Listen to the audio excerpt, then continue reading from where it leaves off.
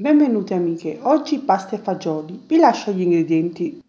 Ed è basilico, guanciale, vi servirà delle cipolle novelline, vi servirà del sale quanto basta, del buon olio extravergine e vi serviranno dei fagioli. O li mettete a lessare però siccome fa caldo e questa è una bella pasta e fagioli estiva vi consiglio di prendere una buona marca di quelli là nel barattolo.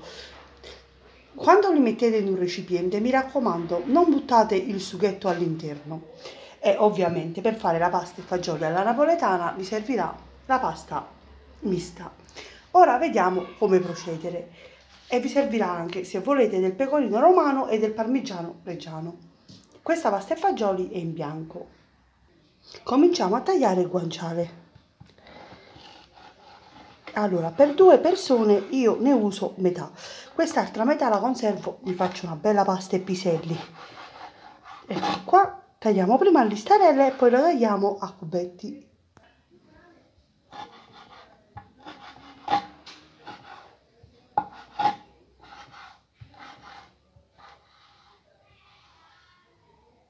Dopo aver tagliato tutto il guanciale ecco qua. Laviamo e puliamo il nostro la nostra cipollina novella la tagliamo a metà e la facciamo bella sottile sottile. Attenzione sempre alle mani. Ecco qua. La cipolla va messa intera nella casseruola aggiungo un filino d'olio extravergine e poi dopo metto il guanciale e lo faccio rosolare. Pochi minutini e il guanciale sarà rosolato.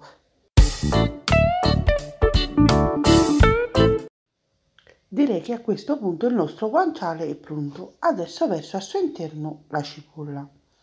Quando la cipolla sarà diventata bella appassita e imbiondita, a questo punto possiamo versare anche i fagioli al suo interno. Una volta versati i fagioli, con una forchetta metà dei fagioli li schiacciamo, così diventano molto più cremosi e si attaccano meglio alla pasta e non vi dico.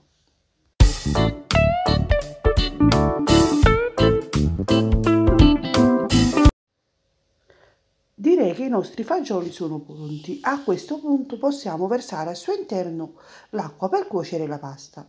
Vi consiglio di versare un po' di acqua in più, dopo vi spiegherò il perché. Vi ho consigliato di versare un po' acqua in più perché se dovesse servirci dell'acqua durante la cottura possiamo aggiungerlo dalla pentola. In questo modo, quando inizia a bollire, versate il basilico.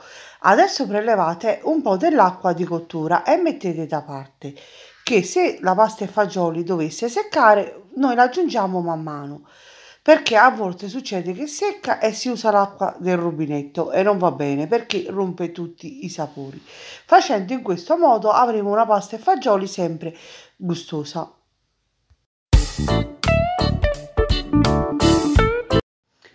Aggiusto di sale e verso la pasta al suo interno. Man mano che la pasta cuoce ogni tanto giriamola.